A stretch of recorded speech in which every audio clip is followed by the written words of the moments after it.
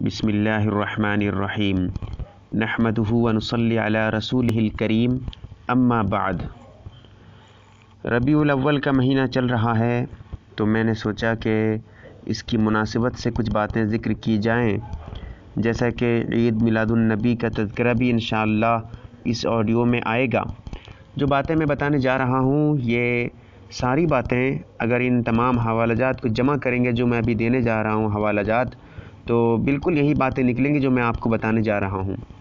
السیرت النبویہ، صفحہ نمبر ایک سو نو۔ رحمۃ للعالمین، صفحہ نمبر چوتیس الرحیق المختوم، صفحہ نمبر باسٹھ۔ اصح السیر، صفحہ نمبر چھ۔ سیرت طیبہ، صفحہ نمبر پچاس۔ اسعد الغابہ، جلد نمبر ایک، صفحہ نمبر اکیس۔ اور البدایہ والنہایہ، جلد نمبر دو، صفحہ نمبر دو سو ساٹھ۔ سر الزرقانی، جلد نمبر ایک، صفحہ نمبر دو سو چھیالیس۔ بہرحال میں یہ بتانا چاہتا ہوں کہ جیسا کہ آپ تمام حضرات کو معلوم ہے کہ آپ علیہ الصلاۃ والسلام کی پیدائش ربیع الاول کے مہینے میں ہوئی ہے۔ تمام حضرات جانتے ہیں کہ آپ علیہ الصلاۃ والسلام کی پیدائش ربیع الاول کے مہینے میں ہوئی ہے۔ رہا کس تاریخ میں آپ کی پیدائش ہوئی ہے؟ اس اعتبار سے تو علم فلکیات اور عصر حاضر کی تحقیق کے مطابق آپ علیہ الصلاۃ والسلام کی پیدائش راجح قول کے مطابق، اصح قول کے مطابق، علم فلکیات اور عصر حاضر کی تحقیق جو آج کے دور میں ہے، نو ربیع الاول کو ہوئی ہے۔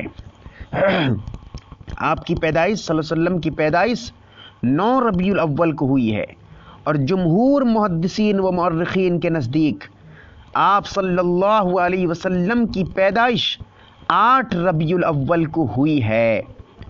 اور رہا نو ربیع الاول کا قول، جیسا کہ مشہور ہے، عوام میں مشہور ہے، معروف ہے۔ اکثر حضرات یہ جانتے ہیں کہ آپ علیہ السلاۃ والسلام کی پیدائش بارہ ربیع الاول کو ہوئی ہے۔ یہ مشہور قول سراسر غلط ہے۔ سراسر غلط ہے، یاد رکھیں۔ میرے الفاظ کو یاد رکھیں۔ یہ بالکل غلط ہے۔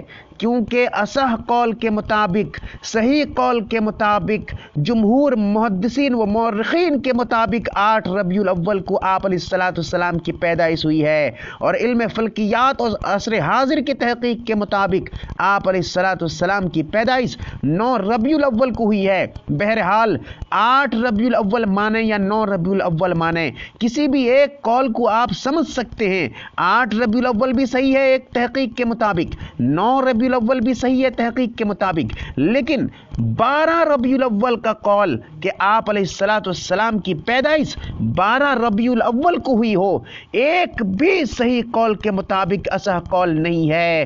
کسی نے بھی اس کو ترجیح نہیں دی ہے، بلکہ یہ عوام میں مشہور ہے۔ یاد رکھیں، بالکل غلط قول ہے۔ صحیح بات یہ ہے کہ آپ کی پیدائش علیہ وسلم کی پیدائش نو کو ہوئی ہے، یا پھر محدثین کے اعتبار سے آٹھ کو ہوئی ہے، بارہ کا قول بالکل غلط ہے۔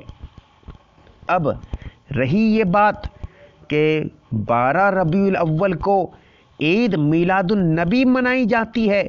میلاد کہتے ہیں آپ علیہ السلاۃ السلام جو پیدا ہوئے ہیں یعنی پیدائش کو عربی میں میلاد کہا جاتا ہے، میلاد میلاد۔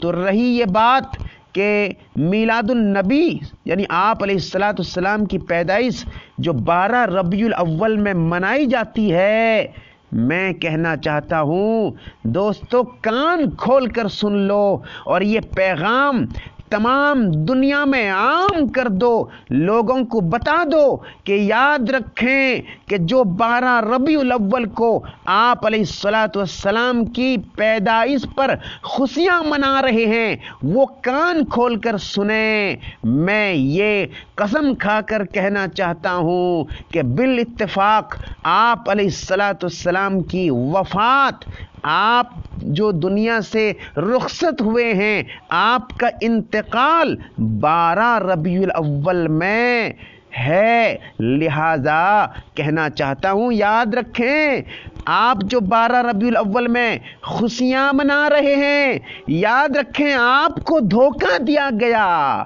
فراڈ کیا گیا آپ کے ساتھ، آپ کو دھوکہ دیا گیا ہے، بلکہ دشمنان اسلام جو آپ علیہ السلاۃ السلام سے بغض رکھتے تھے، ہمارے نبی صلی اللہ علیہ وسلم سے دشمنی رکھتے تھے، جو آپ علیہ السلاۃ السلام کو غلط کہتے تھے، آپ کے دشمن تھے، اسلام کے دشمن تھے، وہ آپ علیہ السلاۃ السلام کی وفات یعنی بارہ ربیع الاول میں لوگوں کو دھوکہ دیا اور یہ کہا کہ آپ کی پیدائش بھی بارہ ربیع الاول کو ہی ہے اور آپ حضرات کو دھوکہ دے کر بارہ ربیع الاول کو بتایا گیا کہ آپ کی پیدائش ہے، صلی اللہ علیہ وسلم کی پیدائش ہے، تو آپ علیہ السلاۃ السلام کی پیدائش کی آڑ میں، آپ کو اصل میں آپ علیہ السلاۃ والسلام سرور عالم صلی اللہ علیہ وسلم کی وفات پر آپ کو خوشیاں منائی جا رہی ہیں۔